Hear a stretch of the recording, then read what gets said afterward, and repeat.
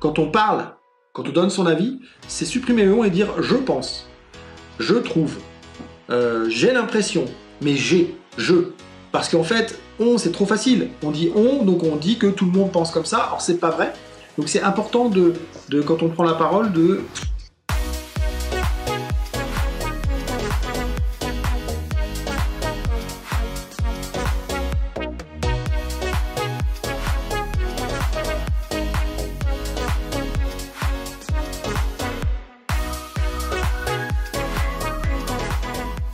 Vous savez, on a, on a l'habitude de dire en stage, euh, quand, pour ceux qui font euh, OLVDS, Oser le défi d'une vie sublime, en entier, on marque souvent sur le tableau On est un con. Nathalie, c'est super de voir l'autre s'épanouir dans d'autres domaines qui ne sont pas ses propres passions, loisirs et partager ses ressentis, ses expériences. Ouais, je suis d'accord. Exactement. Ça permet de, de. fait, dans un couple, c'est effectivement avoir des choses en commun. C'est important parce que sinon on vit deux vies séparées. Mais que chacun puisse avoir aussi sa vie à côté et puis, ben voilà, vous vous y intéressez, vous posez des questions, vous, euh, ben, voilà, ça fait partie de, ces choses-là que vous allez vous enrichir mutuellement et vous allez grandir ensemble, mais en étant deux personnes totalement différentes. Hmm. Et pas, il n'y a pas de dépendance et d'addiction. Il y a Evelyne qui dit mon mari se positionne souvent en Calimero. C'est un héros, c'est un ah. des héros de la médiocrité que nous abordons dans la formation sur une année entière. Il y en a plein d'autres. Euh, on va pas en parler parce qu'on veut pas dévoiler pour ceux qui vont le faire euh, l'année prochaine. mais euh, voilà, oui, bah oui, c'est logique parce que en fait, mm. il y, aurait besoin de lui poser des questions sans le montrer du doigt finalement. Parce que si tu lui dis tu, ah mais là tu fais ton cas numéro et le tu tue la relation. Le, tu tue la relation, c'est le tu qui tue. Donc c'est ok. Donc ça serait de lui dire mais, mais pourquoi tu me dis ça? Qu'est-ce qui te dit Qu'est-ce qui te pousse à me dire ça? Qu'est-ce qui te pousse euh, à, te, comporter de cette façon-là? C'est quoi, c'est quoi euh, qu'il y a derrière? Donc c'est d'être curieux. Je vous l'ai déjà dit. Dans les relations, mm. notamment qui sont un peu toxiques, donc parce que quelqu'un qui fait Calimero en face, c'est que c'est la toxicité, même s'il te manipule en quelque sorte, il te manipule pas, mais quand même un peu. Euh, la meilleure façon de pouvoir déjouer ça, c'est de comprendre l'autre et de comprendre pourquoi il fait ça. Qu'est-ce qu'il cherche à éviter? Qu'est-ce qu'il cherche à obtenir? Et une fois que vous avez compris ça, ce sera beaucoup plus facile pour vous de contrer ça. Et c'est valable aussi pour un manipulateur, évidemment, euh, dont parlait tout à l'heure Nathalie. Relation basée sur le physique, visuel et corporel, passionnel mais pas durable. Ben, ça, c'est clair. Il n'y a pas de fond là. Le, oh. visuel, euh, c'est de l'instantané. Hein. C'est, euh, vous savez, ce que l'œil voit, l'œil croit. La connerie intergalactique, ça.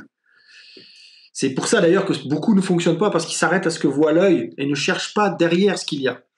Qu'est-ce qu'il y a en termes de ressenti, qu'est-ce qu'il y a en termes d'auditif, c'est-à-dire d'écouter un peu plus ce que veut dire l'autre, euh, d'écouter ce qu'il dit en réalité. Souvent on se base juste à l'œil.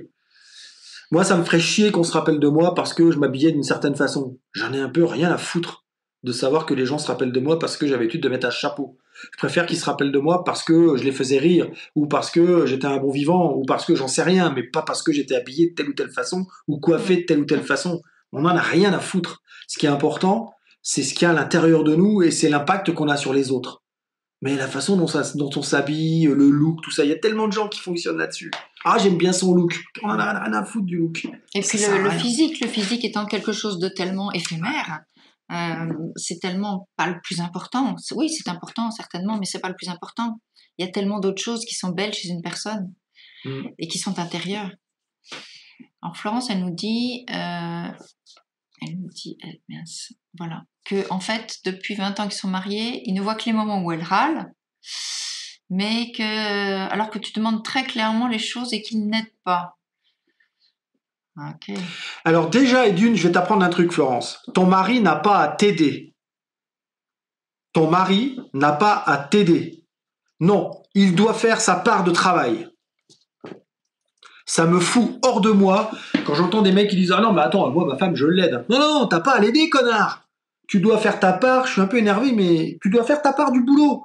Tu prends ta part et tu la fais. Point. Tu n'es pas là à dire j'aide ma femme. Non, on n'est pas là pour aider les femmes. On est là pour participer pour remplir son rôle, remplir sa part.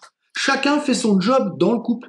Sa part d'adulte. Sa part d'adulte, oui, évidemment. Sa part d'adulte, en fait, tout simplement. J'aide ma femme avec les enfants, mais putain, c'est tes enfants aussi.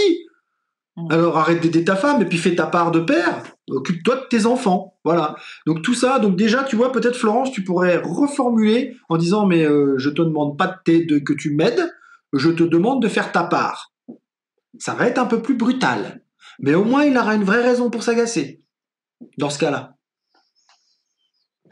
Oui, là, je pratique pas vraiment la CNV, euh, Nathalie. Mais la CNV, c'est bien. Et par moment, ça ne fait qu'empirer les choses. Parce que il faut pas que ça soit à l'extrême. Ouais, il faut pas que ce soit l'extrême. Je sais pas comment tu la pratiques, hein. Euh, c'est bien. Moi, je trouve ça bien sur le fond.